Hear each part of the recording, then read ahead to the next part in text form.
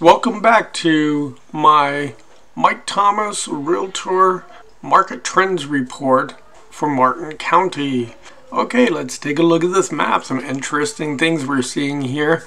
As I said before, if the prices drop three months in a row, that's something to worry about. And right now, Martin County in both townhouses and condominiums, which are in orange, and single family houses, which is in blue, is dropping. So that is a concern for me. I'm scratching my head going, okay, why is this happening? Martin County has uh, some of the lowest taxes in southeast Florida. So let's take a look to see what's happening here, okay? So um, since January, uh, the medium price home uh, was selling for $420,000. Uh, today, the median price home is selling for $455,000, which is a $35,000 increase since the beginning of the year.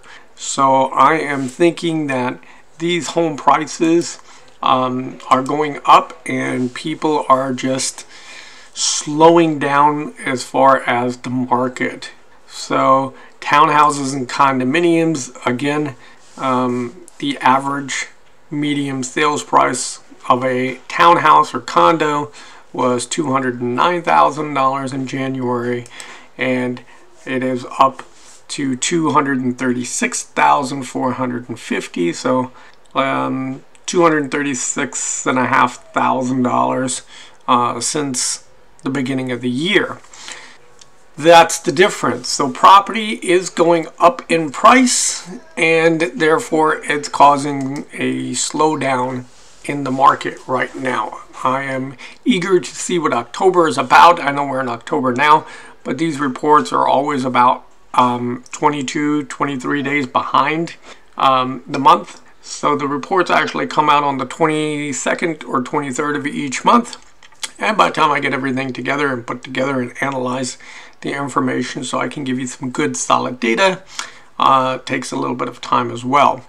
So we're always about a month behind, but the best thing to do is take a look at the land prices because the land prices will always tell you where the market is going because real estate is actually land. Houses, townhouses, and condominiums are considered improvement on that land. So if you like this video, please subscribe. Click the notification bell if you want any updates.